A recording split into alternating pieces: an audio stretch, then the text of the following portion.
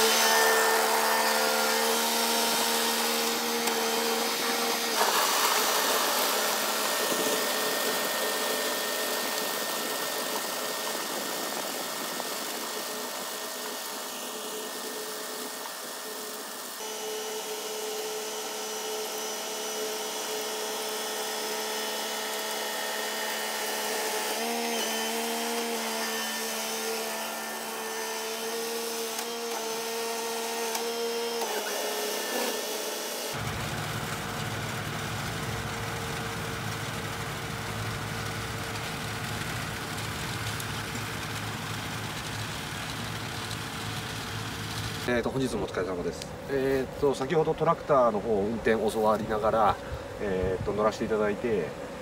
ー、と今もう耕し終わってあの汗かあの汗かいちゃったんで着替えて今撮影してるんですけども。思ったよりねあの普段仕事であのフォークリストとかあのユンボとか乗る機会があって操縦の方は大丈夫かなと思って乗らせてもらったんですけども。まあレバーの数がすごい多くて最初あこれ俺に乗りこなせるかなと思ったんですけども。やっぱり乗ってみるとあの結構簡単っていうわけでもないですけど、まあ、あの教えてくれた方が良かったんです先輩が良かったんだかじいちゃんが良かったんだか分かんないですけどうまく乗りこなすことができて良かったと思います。ただ高い終わったんで次は、えーと、次植える野菜のものの時にあの手伝いに来れたらいいなと思うので応援の方よろしくお願いします。ご視聴いただきありがとうございます。チャンネル登録